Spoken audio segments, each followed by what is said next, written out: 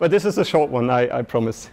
So um, I think non-English speakers have this problem more than others, uh, uh, than, than English speakers or English installation.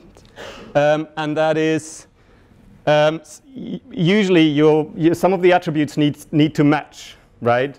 Uh, for example, um, the prefix and the greeting and the formal title and the gender, some, especially like prefix and gender sometimes are related. Uh, for example, um, yeah, well, in English as well, right? It's Mr. and Mrs. And if the if that's wrong, right?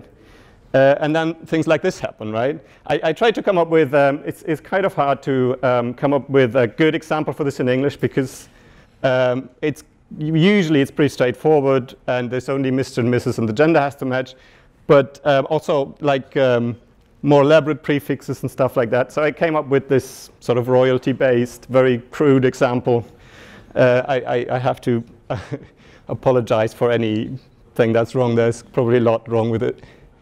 Um, but basically, right, you have this, um, this problem here. So I, we were thinking about how to tackle this. And the idea was to create a suit in the sense of, um, you know, like, um, like in, in cards, um, a set of matching um, sort of attributes. And then uh, from there on, you can have a bunch of suits, what we just called a wardrobe. Um, and in this example, right, we, don't, we only have prefixes, titles, and genders, but obviously uh, you could sort of extend that to other stuff as well. Um, and what you can see is um, some of the attributes um, are uh, present in multiple, um, in multiple suits, right? Others aren't. So for example, um, what you can do with this now is if, for example, the user enters, okay, I'm, I'm, going to enter new contact and it's going to be female, then you already know that it can't be king, prince, or male peasant anymore, right? So you can restrict the amount of um, sort of the, the drop-down options to, to this kind of, um, to this pre-selected um, set that remains, right? Um, I'm going to, actually I'm going to skip the demo because uh, we have uh, like um, a proof of concept implementation for one application of this. So basically what we, wanted, what we did is we created structures to record the suits um, and added some logic to do this kind of deducing of, um, of attributes out of a set of given attributes. Um, one uh, sort of proof of concept case is if you create a new, a new contact, we add a little drop down where you can select, where you can select the, um, the suit, right? You can say, I want to create a new king.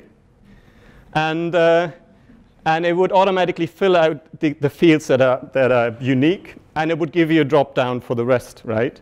But that's just one of the possible um, applications of this, because once you have this, um, this wardrobe of your contacts, um, there's a lot of things you can do, right? You can um, well, as I said, you can just add a drop down to pre sort of pre-fill fields on when you have a new contact. But you could also, uh, when you um, create or edit a contact, um, add the kind of suit validation to the general validation. So it would come up with something like, hey, you selected something like um, a female gender for a, a male, in, uh, in quotes, male uh, prefix and it said, hey, this doesn't, to, according to your suits, that doesn't really match. Uh, you could also go and uh, automatically correct um, data in your database, right? So you could sort of rule out these things, these, um, these mistakes that happen when people enter data. Um, and you could also, for example, well, just either automatically correct it or give you a report on uh, which of the, uh, of the contacts have violate your, um, your set of suits. Um, yeah, basically, that's it. An extension? That is an extension, but it's only a proof of concept kind of implementation. But the idea is um, that with this sort of set-based logic that you can, from your set of suits, derive rules, uh, automatically derive rules of what is correct and what isn't, and uh, given a set of uh, parameters the user entered, uh, derive the, the possible options for the rest of the parameters, for the, for, the, uh, for the rest of the attributes, right? So I think it's a very pow powerful thing um, that, um, especially in a complex, um, in, in a complex database where you have uh, lots of different um, greeting formulas and stuff like that that ha all have to match.